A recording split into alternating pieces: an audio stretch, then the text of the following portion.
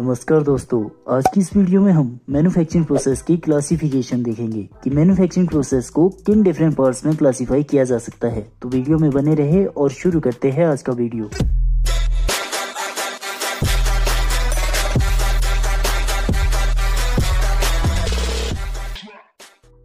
पिछली वीडियो में हमने जाना मैन्युफैक्चरिंग प्रोसेस के बारे में, कि मैन्युफैक्चरिंग क्या होती है।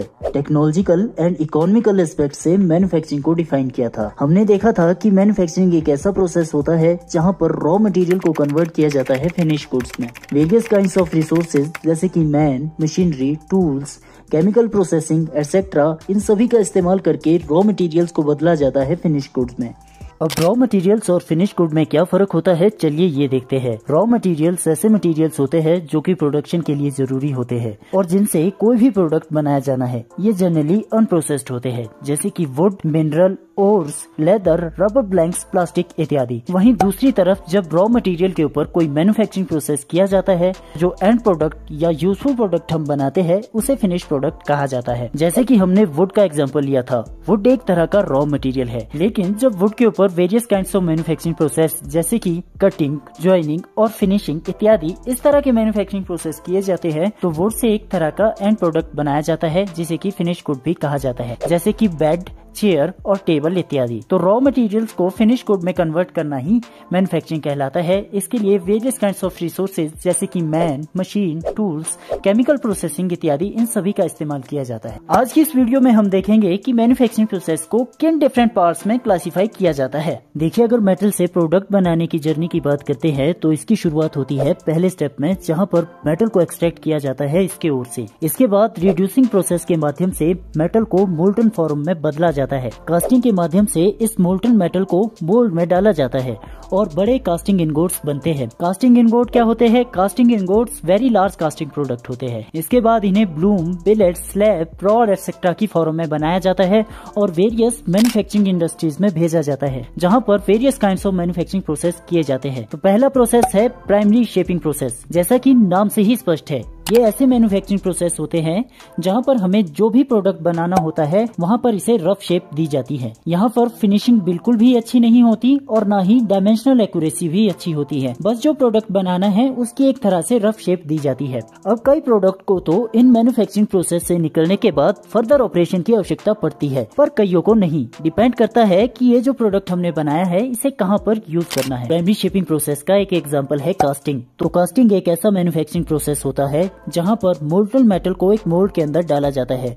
मोल्ड में एक हॉलो कैविटी होती है, जो भी प्रोडक्ट हमने बनाना होता है, उसकी शेप की। अब इस मोल्टन मेटल को कैविटी में ही सॉलिडिफाई होने दिया जाता है। जब सॉलिडिफिकेशन हो जाती है, उसके बाद कैविटी या मोल्ड को डिस्ट्रॉय किया जाता है और उसमें से सॉलिड ऑब्जेक्ट को बाहर निकाला जाता है। इस सॉलिड ऑब्जेक्ट को कास्टिंग कहा जाता है और ये पूरा प्रोसेस कास्टिंग प्रोसेस कहलाता है। इसी तरह से powder metallurgy plastic technology casting इत्यादि ये सारे प्राइमरी शिपिंग प्रोसेस के अंडर आते हैं, जो आगे आने वाली वीडियोस में हम डिटेल में डिस्कस करेंगे। देखिए, अगला प्रोसेस है मशीनिंग प्रोसेस और इसे सेकेंडरी प्रोसेस भी कहा जाता है। यह जनरली मटेरियल रिमूवल प्रोसेस होते हैं, जहाँ पर चिप्स की फॉर्म में मटेरियल रिमूव होता है। इस प्रोसेस का इस्तेमाल डायमेंशनल एक्यूरेसी को अचीव करने के लिए किया जाता है। जब भी डायमेंशनल एक्यूरेसी को अचीव करने की बात आती है तो वहाँ पर मार्किंग एंड मेजरिंग इंस्ट्रूमेंट का इस्तेमाल किया जाता है। जैसे की स्केल वर्नी कैलिपर माइक्रोमीटर और डिवाइडर एक्सेट्रा अब मशीनिंग प्रोसेस का एक एग्ज़ाम्पल है टर्निंग तो टर्निंग एक ऐसा मैन्युफैक्चरिंग प्रोसेस होता है, जहाँ पर वर्क पीस में से एक्सेसिव मटेरियल को रिमूव किया जाता है।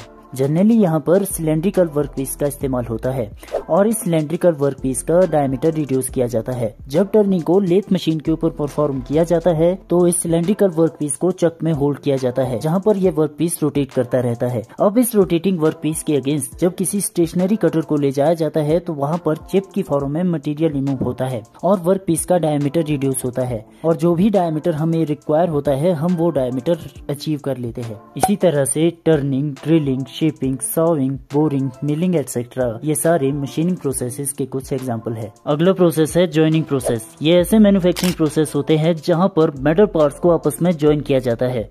बहुत से ऐसे प्रोडक्ट्स होते हैं जिन्हें हम एज अ सिंगल यूनिट में नहीं बना सकते। जैसे कि जब कोई कॉम्प्लेक्स शेप को बनाना हो या कोई बहुत लार्ज लेंथ का प्रोडक्ट बनाना हो तो उसे एज अ सिंगल पीस में बनाना मुश्किल होता है। तो ऐसी कंडीशन में इस किसी प्रोडक्ट के डिफरेंट कंपोनेंट्स को अलग अलग करके बनाया जाता है और उन्हें बाद में ज्वाइन किया जाता है। जैसे कि अगर हम कार की मैन्युफैक्चरिंग की बात करें तो कार में डिफरेंट पार्ट्स या डिफरेंट कंपोनेंट्स होते हैं। अब कार को एक सिंगल यूनिट में बनाना मुश्किल होगा।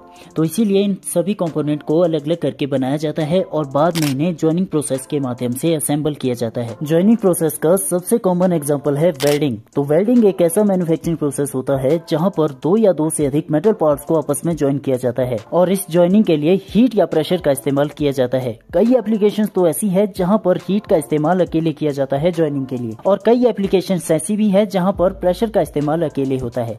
लेकिन इसके अलावा कई एप्लीकेशन ऐसी भी है जहाँ पर हीट और प्रेशर दोनों का इस्तेमाल इकट्ठे किया जाता है मेटल पार्ट को ज्वाइन करने के लिए। वेल्डिंग के अलावा soldering brazing riveting screwing press fitting और सेंटरिंग इत्यादि, ये सारे कुछ ज्वाइनिंग प्रोसेस के एग्जाम्पल्स है। अगला प्रोसेस है सरफेस फिनिशिंग प्रोसेस ये ऐसे मैन्युफैक्चरिंग प्रोसेस होते हैं जिनका मेन पर्पज एक अच्छा सरफेस फिनिश प्रोवाइड करना होता है। इन प्रोसेस के बारे में मिसकंसेप्शन है कि ये मटेरियल रिमूवल प्रोसेस होते हैं। यहाँ पर मटेरियल रिमूवल होता तो है, लेकिन ना के बराबर होता है। इनका main purpose high lustre provide करना होता है। सरफेस फिनिशिंग प्रोसेस का एक एग्ज़ाम्पल है बफिंग तो बफिंग भी एक तरह का सरफेस फिनिशिंग प्रोसेस है, जो कि आफ्टर पॉलिशिंग परफॉर्म किया जाता है। यहाँ पर एक कॉटन व्हील का इस्तेमाल किया जाता है, जिसे कि बफिंग व्हील भी कहा जाता है।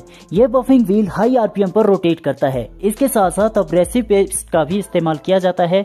इसका इस्तेमाल वुड मेटल और कॉम्पोजिट को शाइन करने के लिए किया जाता है। बफिंग का ज़्यादातर इस्तेमाल होता है गाड़ियों को शाइन करने के लिए, जहाँ पर आफ्टर पॉलिशिंग बफिंग की जाती है। बफिंग के अलावा honing, lapping, super finishing, grinding, polishing, tumbling, sanding इत्यादि, ये सारे सरफेस फिनिशिंग प्रोसेस के कुछ एग्जाम्पल्स हैं। अगली तरह के प्रोसेसेस है मेटल फॉर्मिंग प्रोसेसेस ये ऐसे मैन्युफैक्चरिंग प्रोसेस होते हैं जहाँ पर फोर्स प्रेशर या स्ट्रेस का इस्तेमाल करके रॉ मटेरियल को डिफॉर्म किया जाता है और रिक्वायर्ड शेप एंड साइज़ को अचीव किया जाता है। यहाँ पर मटेरियल रिमूवल नहीं होता, बल्कि कंप्रेसिव टेंसाइल शेयर इस तरह की फोर्सेज लगाकर मटेरियल की प्लास्टिक डिफॉर्मेशन की जाती है और जिस भी शेप का कॉम्पोनेंट हमने बनाना होता है, उस शेप को अचीव किया जाता है। जनरली इसमें हॉट वर्किंग प्रोसेसेस और कोल्ड वर्किंग प्रोसेसेस आते हैं। हॉट वर्किंग प्रोसेसेस ऐसे मैन्युफैक्चरिंग प्रोसेस होते हैं जहाँ पर मेटल को अबव रिक्रिस्टलाइजेशन टेम्परेचर डिफॉर्म किया जाता है। वहीं दूसरी तरफ़ कोल्ड वर्किंग प्रोसेसेस ऐसे मैन्युफैक्चरिंग प्रोसेस होते हैं जहाँ पर मेटल को बिलो रिक्रिस्टलाइजेशन टेम्परेचर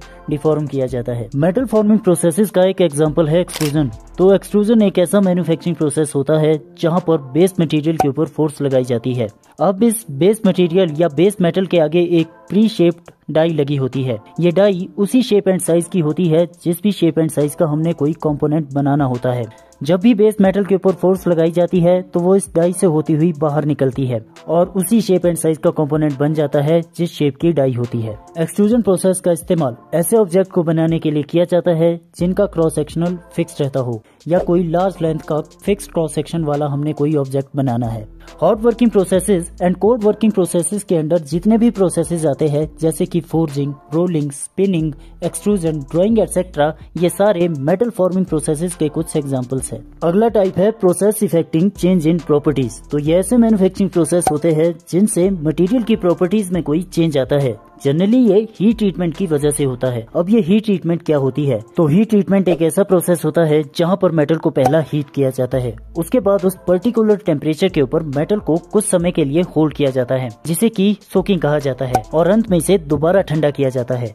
और ये पूरा प्रोसेस हीट ट्रीटमेंट कहलाता है। ऐसा इसलिए किया जाता है क्योंकि इससे मटेरियल की मैकेनिकल और फ़िज़िकल प्रॉपर्टीज़ में चेंज आता है। साथ में ग्रेन स्ट्रक्चर भी रिफाइन होता है। हीट ट्रीटमेंट प्रोसेसेस के अंदर annealing tempering hardening normalizing case hardening quenching etcetera आते हैं। जैसे कि अगर हम बात करें हार्डनिंग की तो हार्डनिंग का इस्तेमाल मेटल की हार्डनेस को बढ़ाने के लिए किया जाता है। हार्डनिंग प्रोसेस में स्टील या फिर आयरन को अबव क्रिटिकल टेम्परेचर हीट किया जाता है। उसके बाद उस पर्टिकुलर टेम्परेचर के ऊपर कुछ समय के लिए इस मेटल को होल्ड किया जाता है और अंत में इसकी रैपिड कूलिंग की जाती है। अब ये rapid cooling quenching in water oil या फिर सॉल्ट बाथ में हो सकती है। और जिससे मेटल की हार्डनेस बढ़ जाती है। तो आज की इस वीडियो में हमने मैन्युफैक्चरिंग प्रोसेस की क्लासिफिकेशन देखी, जहाँ पर हमने छह डिफरेंट टाइप्स के प्रोसेसेस को डिस्कस किया। तो आगे आने वाली वीडियोस में हम इन प्रोसेसेस को एक एक करके डिस्कस करेंगे। मैन्युफैक्चरिंग टेक्नोलॉजी की ये सीरीज़ जारी रहेगी। अगर आपको ये वीडियो अच्छी लगी तो वीडियो को लाइक कमेंट शेयर ज़रूर करे। साथ में अगर आप चैनल पे नए आए हो तो चैनल को सब्सक्राइब भी करे। Thanks for watching and have a nice day